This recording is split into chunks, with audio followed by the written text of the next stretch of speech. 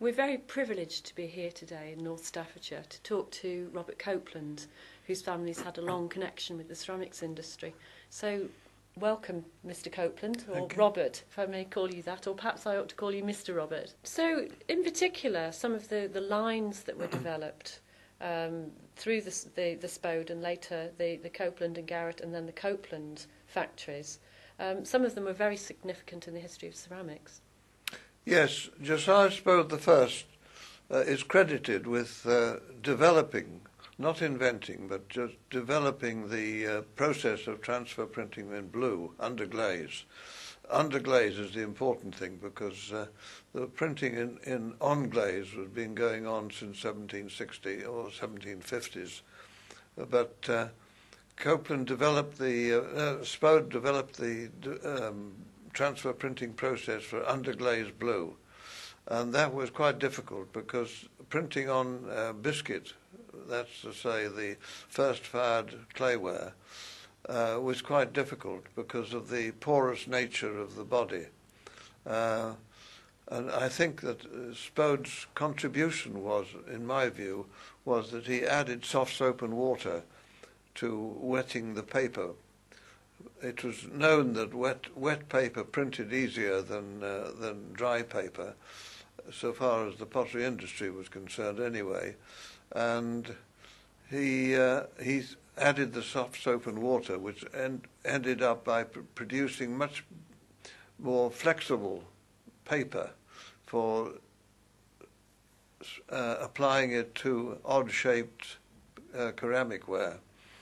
Um, it also made it easier to wash off after the printing process. I haven't developed the printing process uh, in description, but uh, um, that is a well-known process um, which enabled the good quality wares to be uh, manufactured for the world's uh, consumption. Why do you think that underglazed blue transfer printed decoration became so popular? What do you think the demand stemmed from? Blue and white enhances the appearance of food. Uh, first of all, there's no blue food, or at least there shouldn't be, and uh, the appearance of food uh, on on um, blue and white is enhanced. Even a piece of white bread and butter is more attractive on on a blue printed plate than it is on an ordinary plate. so, it's also a, a, relatively inexpensive process of decorating, and it is uh, underglazed so that it was impervious to material, to to oils and things like that and uh, it didn't wash off. What kind of people were buying this pottery? Ah, now then. Uh, we, we were supplying all sorts of people, uh, uh rich people, less rich people, mid, middle class, I would say, probably mostly.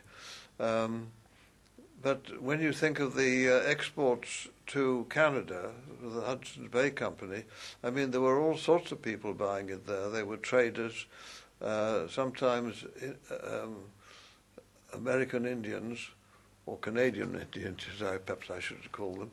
Um, and uh, the trade was quite considerable. Was blue um, particularly desirable before the development of underglazed blue transfer printing on earthenwares? The Worcester factory was producing uh, blue printed wares.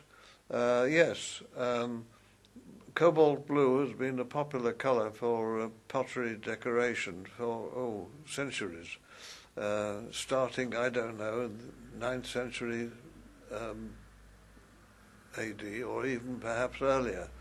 Uh, the great thing about it is, is it uh, would withstand a high temperature and and fasten itself to the ware. So it uh, uh it appealed to people producing uh, tin glazed earthenwares, ordinary earthenwares. Um, it, it, had a great great uh, longevity. And would you say that it's been a staple of the factory ever since? Yes, it's certainly Spode factory. It's uh, transfer printed wares. We were leaders, and a lot depended on the quality of the engraving as well. So uh, the uh, standard, the technique of engraving improved enormously in the first 20 years uh, after 1784, and uh, they were able to distinguish between tone and tone uh, by uh, stipple punching, for example. There was line engraving and stipple punching, and the stipple punching enabled them to get uh, different tonal qualities.